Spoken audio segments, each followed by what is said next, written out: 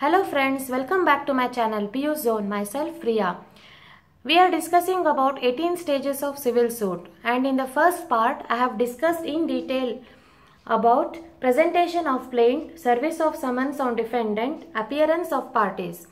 Now in the second part I am going to discuss about ex parte decree, interlocutory proceedings, written statement, production of documents and examination of parties. So let's start. The first one is ex parte decree. A decree against the defendant without hearing him or in his absence is ex parte decree.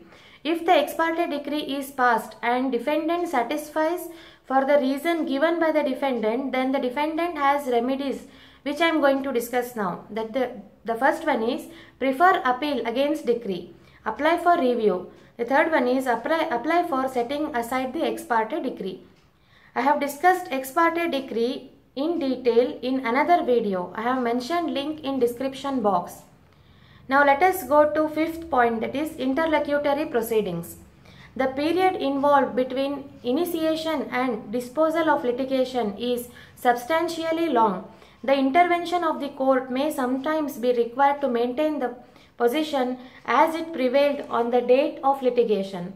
Interlocutory orders are provisional, interim, temporary as compared to final. The court may order for detention, preservation or inspection of property or documents, interim sale or to authorize any person to enter into any land or building which is in possession of other party for the purposes of detention, preservation or inspection etc. Now let us go to the sixth point that is written statement. The defendant is required to file written statement of his defense at or before the first hearing. If the defendant takes the plea that the transaction is void, it must be specifically stated. The defendant has to present written statement within 90 days from the date of service of summons. I have discussed written statement in detail in another video and also I have mentioned the link in description box. Please go through.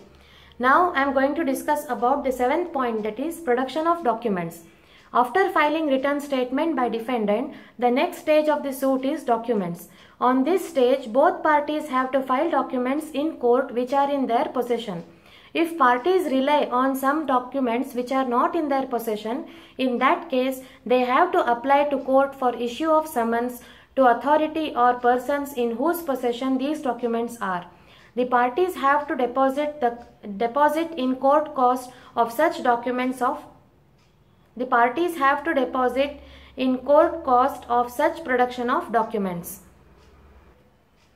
Now let us discuss the eighth point that is examination of parties. Examination of parties is an important stage after appearance. At first hearing of the suit, the court shall ascertain from each party whether he admits or denies such allegations of fact as made in the plaint or written statement. Such admissions or denials shall be recorded. The admission may be an oral examination.